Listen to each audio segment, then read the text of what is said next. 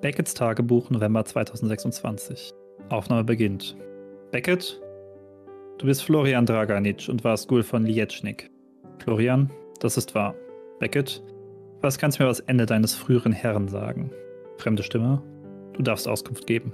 Florian, vier Blutsverwandte suchten uns auf mit einer Bitte des Prinzen an Lietschnik. Er nahm diese Bitte an und sie brachten einen Leichnam sofort, einen weiteren Leichnam im Verlauf der Nacht.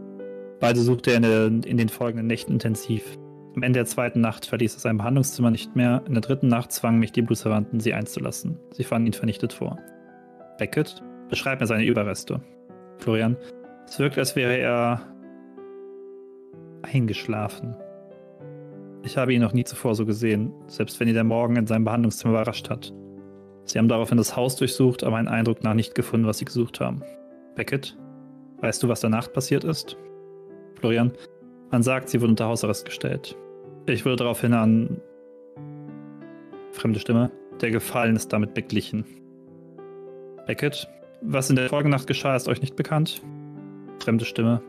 Nicht mehr als alle wissen. Ende der Aufnahme.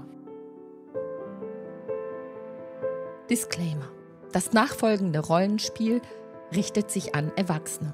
Es kann Darstellung und Beschreibung von Gewalt und Sexualität enthalten.